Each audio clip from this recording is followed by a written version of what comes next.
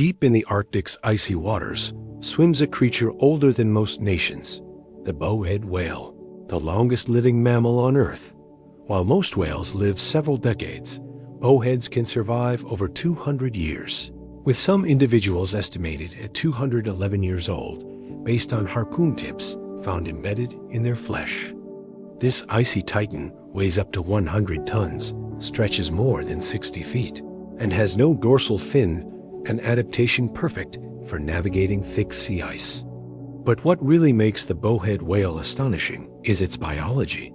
Scientists have discovered genetic mutations in bowheads that repair damaged DNA and suppress cancer, potentially explaining their incredible lifespan. Despite enduring centuries, the bowhead isn't invincible.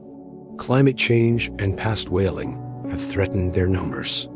Yet, they remain a symbol of Arctic endurance outliving predators, human technology, and time itself. What secrets of longevity might be locked within the bowhead whale's DNA? Could unlocking them help humans live longer too?